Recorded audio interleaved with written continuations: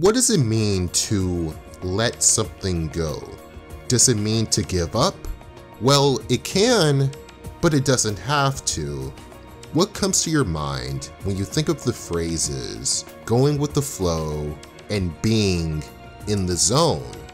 Flow feels natural. There's little pressure. There might be some, but it's the good kind of pressure you enjoy. For example, when you're working on an art project. So when people say, let go, let God, what they really mean is don't keep forcing it, not don't try.